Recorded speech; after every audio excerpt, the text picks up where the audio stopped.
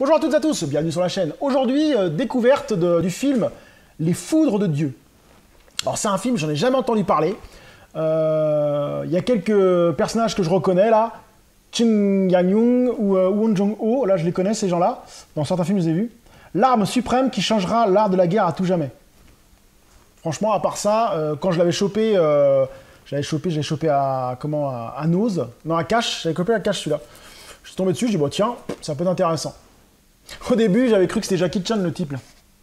De loin. J'avais dit bah tiens, Jackie Chan. Ah mais non, c'est pas lui. Donc on va dire un peu de quoi ça parle. Le destin de la Corée entre est entre ses mains. Ah, film coréen, d'accord.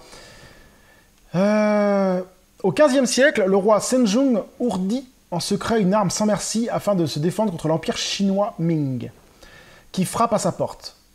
Bientôt, les espions chinois découvrent le secret de Senjong et tuent l'homme en charge du projet. Seul rescapé du massacre, Ongli, sa fille, s'enfuit avec les plans de l'arme, mais sans le manuel que de son père, volé par l'ennemi. Réussira-t-elle à construire l'arme divine pour repousser Ming qui se croit déjà en terre conquis Des combats palpitants et virevoltants de l'action, des enjeux politiques, une véritable feu d'artifice. Ouais, ouais, bah, euh, à voir, ce que ça vaut. Je me fie des fois des films un peu, euh, un peu euh, péplum comme ça, enfin un peu combat chinois et tout ça, parce que des fois c'est un peu, un peu moyen. Mais bon, on va voir tout de suite ce que ça vaut. C'est parti. A few moments later. Je viens de finir euh, La Foudre des Dieux. Bah, bonne surprise, franchement. Bonne surprise. C'est un film euh, vraiment sympa à voir.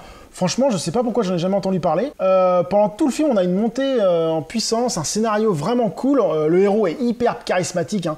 Le héros du film, oh là il se bat à l'épée. Enfin, c'est vraiment un truc de fou. On a des combats vraiment bien foutus, bien bien bien, réalisés, avec des combats vraiment assez épiques. hein, surtout sur la fin. hein. On a une bataille sur la fin qui est juste énorme, avec des combats, avec des machines, de, des, lance, sortes de lance-flèches de, de, fou.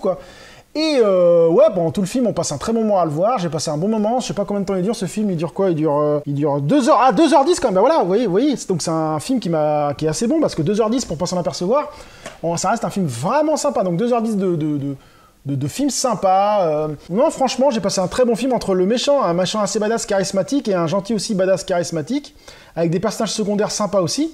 On passe un très bon moment à voir ce film avec de la bonne baston, euh, des bons combats d'épée, euh, de, la bonne fight et en plus euh, des faits historiques qui sont intéressants à découvrir. Et donc oui, oui, oui, oui, donc oui, oui, les foudres de Dieu valent le détour. Si vous ne l'avez jamais vu ce film, vous pouvez vous, l'acheter les yeux fermés à Nose ou n'importe où. Bon après, moi je mets pas 10 euros dans un film comme ça. C'est un film que j'ai adoré, que j'ai trouvé ça bien. Mais euh, vous mettez 5 euros déjà, 5 euros à Nose euh, ou à Cash, ça se trouve. hein. À Nose peut-être pas, mais Cash oui, c'est Cash ça se trouve. Je l'avais, bon, je l'ai vu qu'une seule fois, la première fois que je l'avais vu. Mais bon, je pense qu'il doit être trouvable. Enfin bref, euh, les foudres de Dieu, ouais, film vraiment sympa. Donc sur ce, je vous dis à très bientôt sur la chaîne. Salut